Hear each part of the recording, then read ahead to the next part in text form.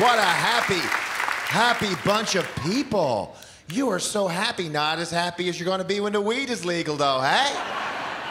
Lots to talk about the weed. Where are we going to sell it? Shoppers Drug Mart says that they should sell the weed because they have a lot of locations and they're a trusted place that Canadians go to to get their drugs of choice. A lot of locations, a place Canadians go to get their drug of choice. I think they should sell it to Tim Hortons. hey?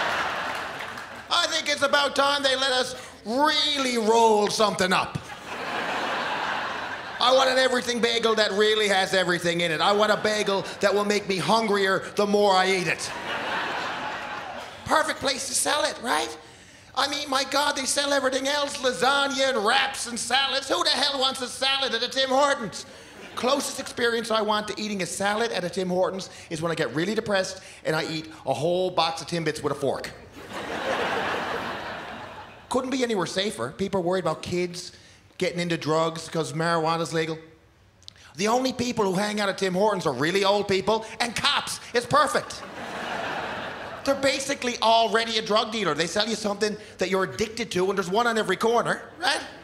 You're already buying your weed in the parking lot. I'm just saying, go inside where it's warm. It'd be perfect. The staff won't mind. Half of them are stoned anyway.